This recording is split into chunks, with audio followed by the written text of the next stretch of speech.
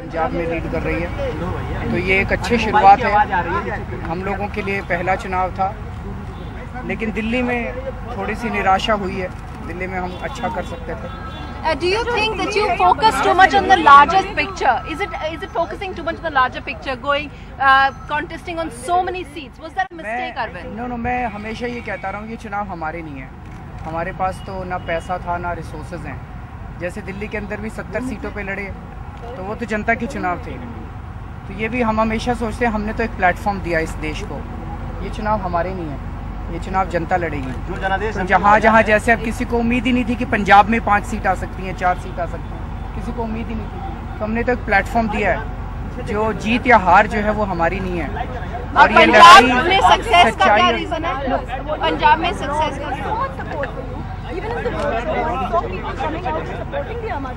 Question of disappointment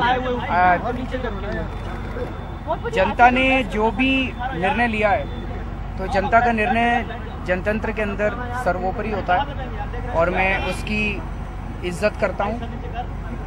चुनाव की जीत या हार तो चलती रहती है। लेकिन जैसा मैंने कहा कि काशी की जनता से बहुत प्यार मिला बहुत आदर मिला सम्मान मिला इसके लिए मैं उनका शुक्रगुजार What do you think happened in Punjab, Arvind Kejriwal? Because you know that seems to be the only place where मैंने यही so कहा well. ना कि ये बहुत इंटरेस्टिंग है इस देश के अंदर बहुत बड़ी चर्निंग चल रही है इस टाइम कहाँ पे जनता आपका साथ देगी कहाँ पे जनता साथ नहीं देगी ये लड़ाई भी बहुत लंबी है।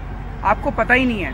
इसीलिए जो कई बार ये क्वेश्चन पूछा जाता है कि आपने हर जगह कैंडिडेट्स खड़े किए हमने तो एक प्लेटफॉर्म दिया है उसमें कहाँ लोग समर्थन करेंगे कहाँ लोग समर्थन नहीं करेंगे आपको पता ही नहीं है हमें भी उम्मीद नहीं थी कि पंजाब में इस तरह का समर्थन मिलेगा और हमें उम्मीद ये भी नहीं थी कि दिल्ली में इतना कम वो समर्थन मिलेगा तो ये सारी चीज़ें हैं अगले तीन चार दिन में बैठेंगे इसके ऊपर